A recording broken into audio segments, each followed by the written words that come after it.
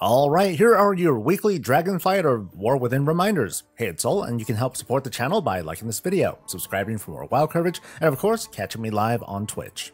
The July trading post is in as of like now, which is great. If you're like me, you're tender broke, and it's sort of thanks to my making some, you know, some pretty bad decisions in the previous month, if you can call the surfboard a bad decision at least. Whatever the case, when you log in today, maybe consider something that you want to freeze first so that you can save it for later, and then go ahead and spend whatever you like. Just be sure to not spend too much, although of course, hey, it's totally your choice.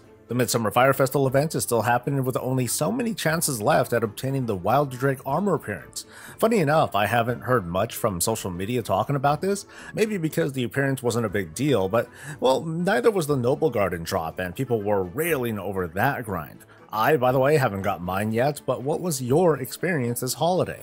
Let's go over this week's events. The pet battle bonus is in play, and this time European realms will get to enjoy a Super Squirt Day on the 5th, where you can superpower level your beloved pets before tossing them into the auction house. Haha! Arena skirmishes are in play, as well as the Temple of Kotmogu, where you grab the power up and all of a sudden it's a death sentence. So the game is to get everyone else killed before you. It's the week of Aberrus on the Awaken rotation, meaning the last Hurrah quest will have us crack open a Suffusion chest, complete a Time Rift, and a Researchers Under Fire event.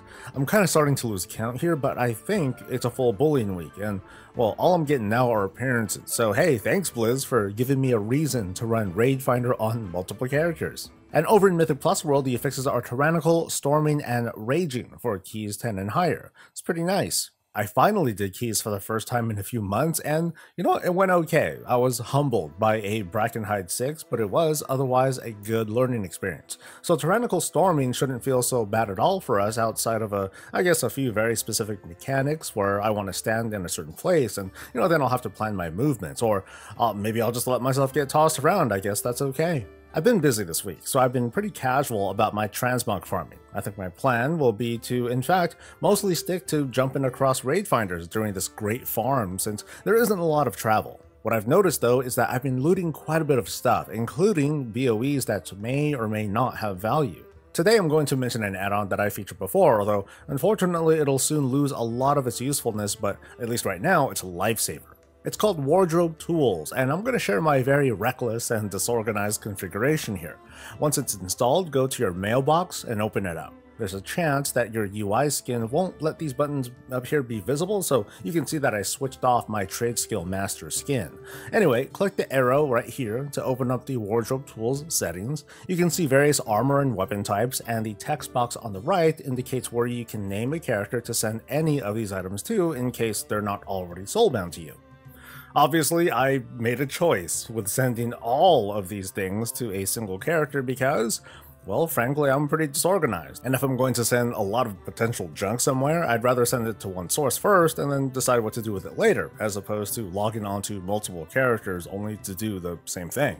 The add-on only works with gear, but what I've typically been doing is immediately throw other junk just straight to the auction house. It's it's kind of like a black hole where all sorts of random stuff eventually gets eaten up and I get a little bit of gold. As we wait for more news bombs to drop, I'm going to do a little project with respect to the continuing discussion on Pathfinder in the War Within. A lot of folks really don't like the idea of being forced to complete the main quest line and do exploration in order to learn steady flight. So I'm going to try leveling without any flying at all, see what it's like, and I'll get back to you. And as news drops, you'll hear from me, so be sure to keep track by subscribing to the channel. Like the video, catch me live on Twitch, and let's have Bob close us out. Stay safe, stay healthy, and stay breezy. You start in town, get up all the weeklies, then you head down. Check and notice, but there aren't any a circle around the isles, helping dragons for a while. Do a hut, cook soup and some bounties. Viewing for some dungeons, stopping invasions, helping the dragon nations. But in the end, you're just a gamer, you're just trying to get the big reputation. Big reputation. Ooh, you and me were farming big reputations. Ah, that's the thing we're really trying to do. I want some trash bombs too. Done.